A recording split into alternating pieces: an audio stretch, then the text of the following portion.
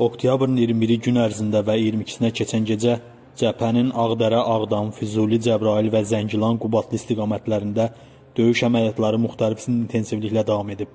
Düşmən müdafiə mövqelərimizi atıcı silahlar, minatanlar və toplardan atəşə tutub. Bu barədə Müdafiə Nazirliyi məlumat yayıb. Azərbaycan ordusunun keçirdiyi əməliyyat nəticəsində cəbhənin Qubadlı istiqamətində Ermənistan silahlı qüvvələrinin müdafiə olunan bölmələri şəxsi heyət və hərbi texnikada itki verərək vacib yüksəklik və bir sıra mövqelərdən geri çəkilməyə məcbur edilib. Ermənistan silahlı qüvvələrinin cəbhənin Xocavənd istiqamətində mövqe tutan 155-ci artilleriya layının D20 bateriyasının şəxsi heyəti arasında çoxlu sayda yaralanan var. Onların təxliyəsi üçün nəqliyyat vasitəsinin çatışmazlığı və yolların bağlı olması məlum olub. Hadrut qəsəbəsindən şimalda yerləşən düşmənin artilleriya bölmələrinə yeni gətirilmiş könüllülər atəş mövqelərini tərk edərək qaçıb.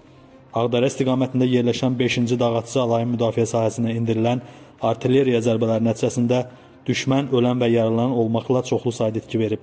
Alayın 3-cü taborunun komandiri Robert Hamburgsmonyan itki düşüb.